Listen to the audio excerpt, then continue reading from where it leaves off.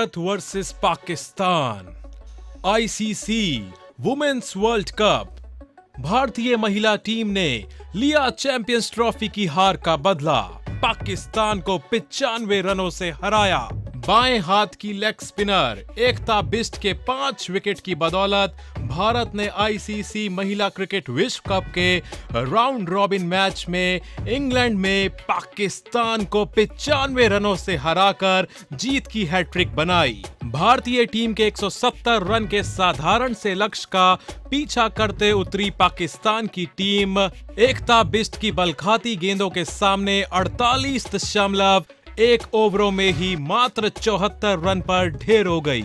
एकता बिस्ट ने मात्र 18 रन देकर पाँच विकेट झटके। साथ ही में तेज गेंदबाज मानसी जोशी ने दो, जबकि झूलन, गोस्वामी, हरमनप्रीत कौर और दीप्ति शर्मा ने भी एक एक विकेट चटकाया। पाकिस्तान की ओर से कप्तान सना मीर ने सर्वाधिक उनतीस रन बनाए।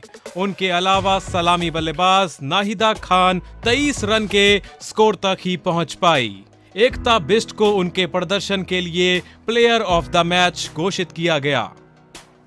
इससे पहले भारतीय टीम नासरा संधू 26 रन पर चार विकेट और सादिया यूसुफ 30 रन पर दो विकेट की घातक स्पिन के सामने नौ विकेट पर एक सौ उनहत्तर रन ही बना सकी। तेज गेंदबाज डाइना बैग ने भी 28 रन देकर एक विकेट हासिल किया।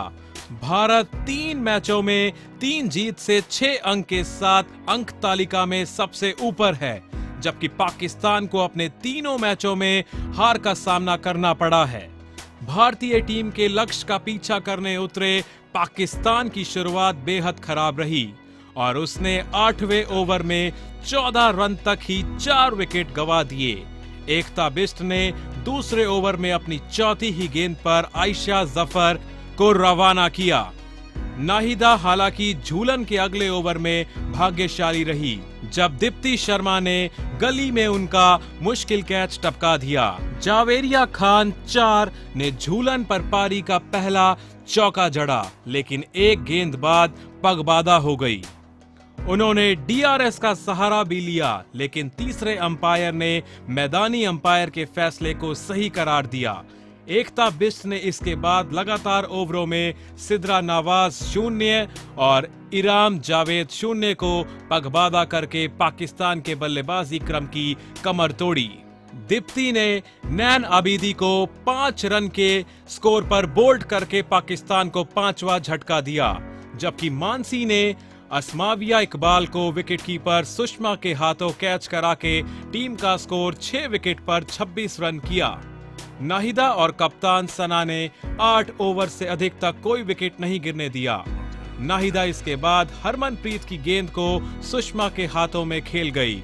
उन्होंने बासठ गेंद में तीन चौकों की मदद से तेईस रन बनाए।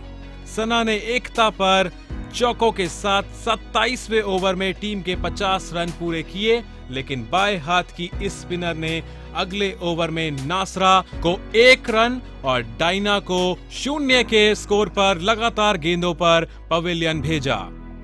सना और सादिया ने 9 ओवर से अधिक समय तक पाकिस्तान की हार को टाला, लेकिन मानसी ने विरोधी कप्तान को बोल्ड करके भारत को जीत दिला दी।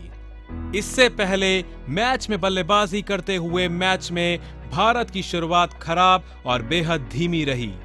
टीम का स्कोर जब सात रन था, तभी चौथे ओवर की तीसरी गेंद पर शानदार फॉर्म में चल रही मंधाना दो रन के निजी स्कोर पर पवेलियन लौट गई। पूनम और दीप्ति ने हालाँकि विकेट पर अपने पैर जमाए, लेकिन रनों की गति को बढ़ा नहीं सकी। दोनों ने अठारह दशमलव पाँच ओवरों में तीन दशमलव पाँच पाँच की औसत से सिर्फ़ सड़सठ रन जोड़े। अर्धशतक से तीन रन दूर पूनम को संधू ने अपना शिकार बनाया और यहाँ से भारत के विकेट ताश के पत्तों की तरह गिरने लगे। कप्तान सिर्फ़ आठ रन ही बना सकी और अंत में सुषमा और झूलन गोस्वामी ने सातवें विकेट के लिए 34 रनों की साझेदारी कर टीम को इस स्कोर तक पहुँचाने में मदद की। मानसी जोशी चार रन और पूनम यादव छह रनों पर नाबाद लौटी। पाकिस्तान की तरफ़ से संधु ने सर्वाधिक चार विकेट लिए। सादिया यूसुफ को दो सफलता मिली, डाइना बैग और असमाविया इकबाल के हिस्से में एक एक विकेट आया।